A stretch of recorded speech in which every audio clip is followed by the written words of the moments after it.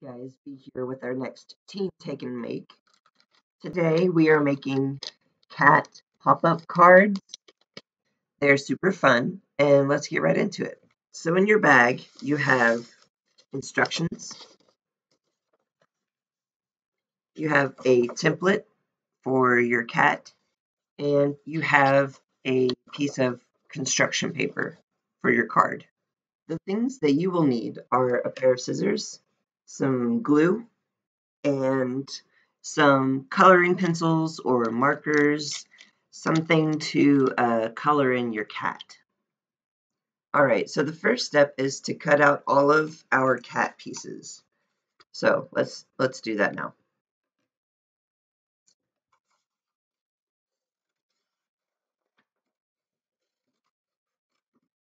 All right, now that we have all of our cat parts cut out, the next thing that we want to do is fold along the lighter lines on our square piece. So you just fold along that finer line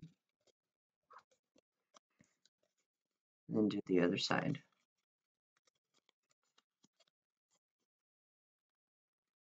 It's kind of tough paper to work with, but you can do it. All right.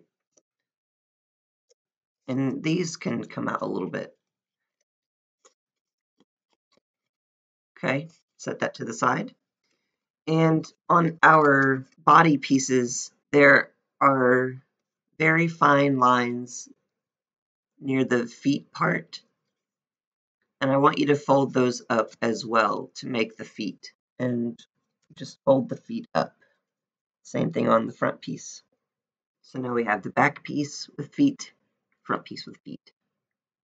All right, we're going to open our card and we're going to take the back body piece, it's the one with the tail, where we folded the feet, that's where they're going to line up with the crease of the card. Okay, so take your glue and we're going to glue this back body piece to the card right there where the feet line up with the crease of the card. And there we are. Our next step is to determine how far forward we need to place our front body part. How, how far forward do we need to do that? So we're going to take our square with these tabs. And the tabs are going to connect the back body to the front body, okay? So we're going to use this square to measure the distance between the back and the front. So I'm lining it up right with the crease, just like this. And where this front piece is, I'm going to take my pencil, I'm going to make a little line so I know where to put the front feet.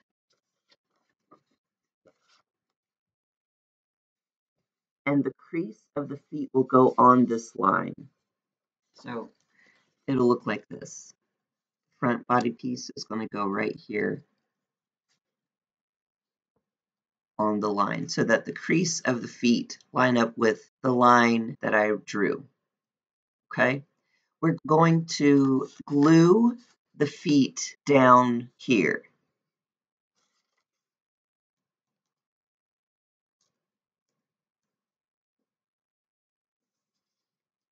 Make sure you line it up with your back body piece. Okay, our next step is to use the same square to connect the back to the front. So using these tabs, we're going to connect these two pieces. After we connect the two, it will look like this. All right, so take some glue here and here to connect the back to the front.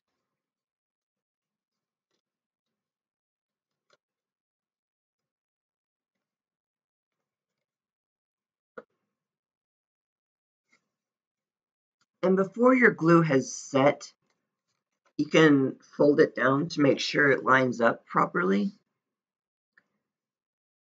So I might need to move mine up a little bit to make it lay down flat.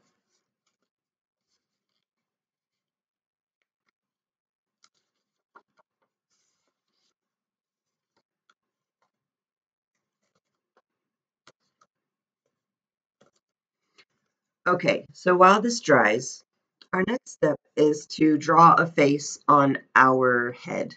So feel free to use whatever design you'd like. Use whatever colors, whatever medium you would like to use to draw a face on your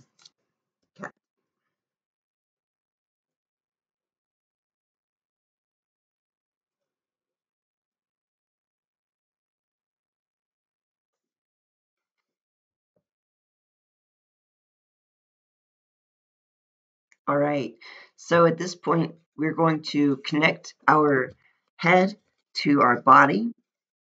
And so we're going to glue it just on the front and you can angle it a little bit to make it look a little more inquisitive.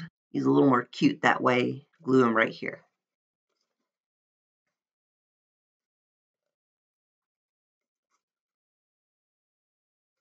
Okay, so at this point you can add some more color to the body pieces if you would like.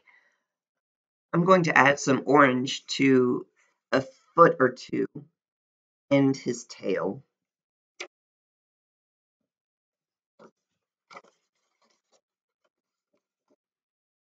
Now we have a little text bubble. Feel free to write in any message you would like here, and we're going to glue it just at the bottom for a little message from our cat. And go ahead and glue it on. And there we have it, your kitty pop-up card.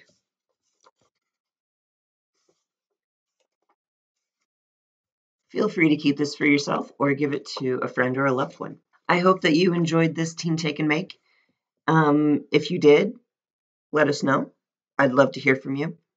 Otherwise, keep an eye out for our next Teen Take and Make. And until then, be safe, take care, wash your hands, and we'll see you next time. Bye.